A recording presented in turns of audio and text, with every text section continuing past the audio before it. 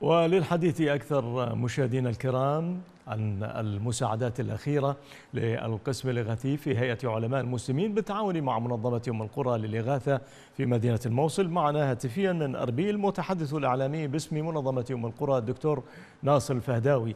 حياكم الله دكتور ناصر ويعني عرفنا متفضلا بتفاصيل هذه الحملة التي قمتم بها في شرقي مدينة الموصل.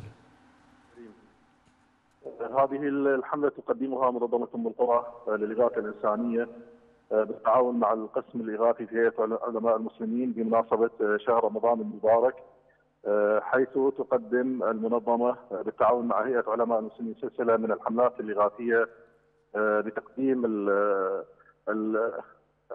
المساعدات الرمضانية في هذا الشهر الفضيل للعائلات النازحة في المخيمات وكذلك العائلات النازحة في في مناطق في مناطق السوح قدمت المنظمة بالتعاون مع القسم الإغاثي في هيئه علماء المسلمين 500 من حمالية لأهلنا النازحين في مخيمي الخازر ومخيم حسن الثاني في منطقة الخازر شرق الموصل.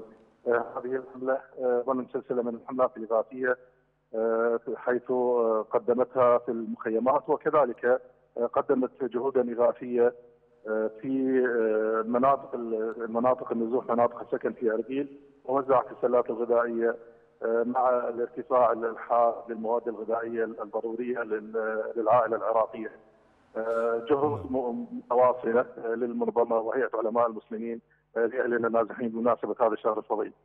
يعني ماذا عن أوضاع النازحين في المخيمات؟ كيف ترونهم؟ وتحديدا في مخيمي الخازر وحسن الشام الثاني. إلى أي مدى أيضا باتت تمثل هذه المساعدات موردا لهم ولو بجزء بسيط يعني؟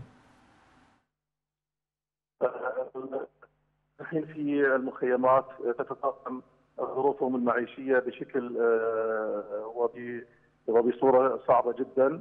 وهم بحاجة ماسه إلى آه، كل كل مستلزمات الاغاثيه آه، وكذلك مع انقطاع الدعم الاغاثي من المنظمات الاغاثيه ومن الجهات المسؤوله عن دعم واغاثه النازحين لذلك هي تشكل شيء كبير بالنسبة لهم لهم ولأطفالهم.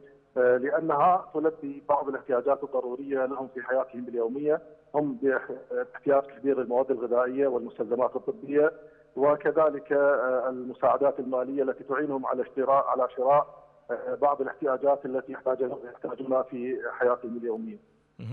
اذا مع هذه الأوضاع الاقتصادية السيئه للاجئين ما أهمية استمرار هذه الحملات؟ وهل هناك حملات أخرى تنوون القيام بها؟ لا سيما مع دخول شهر رمضان أسبوعه الثاني آه، هذا الشهر الفضيل الذي تكثر فيه الصدقات؟ آه، الحملات حقيقة يعني مستمرة متواصلة من قبل منظمة أم القرى وكذلك هيئة علماء المسلمين في قسمها الإغاثي.